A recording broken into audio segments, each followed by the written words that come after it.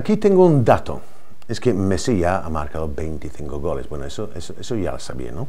Pero lo que no sabía es que ha marcado más goles que toda la Liga Española, con la excepción de que Málaga ha marcado 25 goles, Real Madrid ha marcado 39 y Atlético de Madrid ha marcado 36. Es decir, que Messi es casi un equipo solo. Evidentemente el fútbol no es así. Pero lo que sí diría con marcando esos 25 goles, creo que marca goles ya con menos esfuerzo que nunca.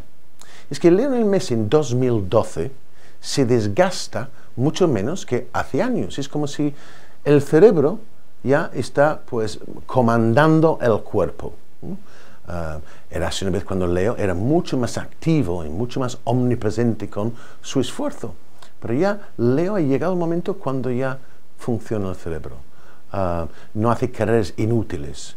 Pero da la sensación, ¿verdad?, que cuando coge el balón, cuando decide, pues, voy a marcar, lo hace. Pero dosificándolo, dosificándolo. Yo pienso que esos 25 goles es que nunca le ha costado tan poco para marcar tantos goles la verdad es un extraterrestre.